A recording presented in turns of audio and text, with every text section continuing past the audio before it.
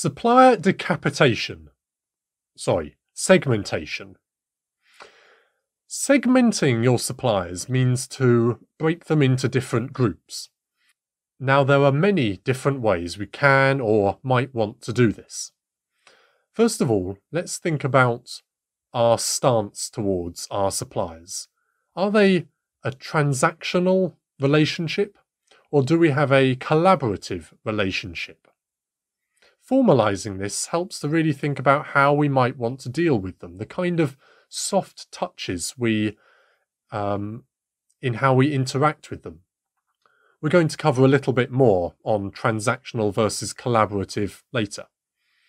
We could also separate our suppliers by contract duration.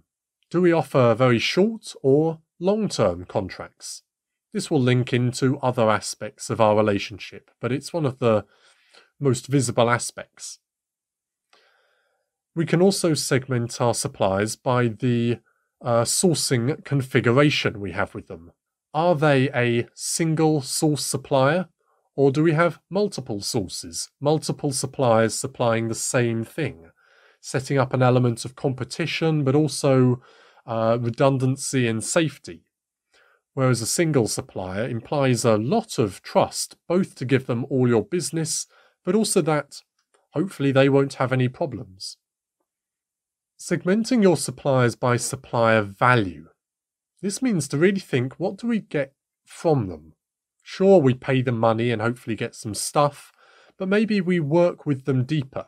Maybe for their productivity, which hopefully they pass on in terms of cost, or we could really work with them in terms of innovation and strengthening our relationship and the ultimate end product, perhaps mutually designing a future generation of a product. Another few words often used when segmenting suppliers is to think of them in terms of their importance. We might categorize them as strategic suppliers, or you might hear preferred suppliers or tactical suppliers. Now, a strategic supplier would uh, you know, have aspects in all of the categories we've mentioned so far. Probably it's more collaborative, longer term, it could still be multiple source, but with a commitment to the long term. We're both interested in the productivity of them, but also the innovation for the next round of products. A strategic supplier. We might say a preferred supplier when the relationship might be quite transactional. There might be many to choose from, but we've picked this one. They are our preferred supplier.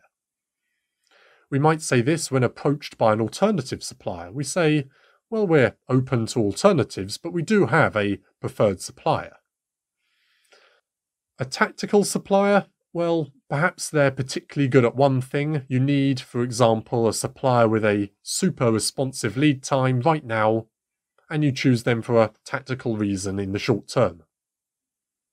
So, segmenting your suppliers. This means to look at them and evaluate them across many possible dimensions, and ultimately you might make a very active effort to treat them differently accordingly.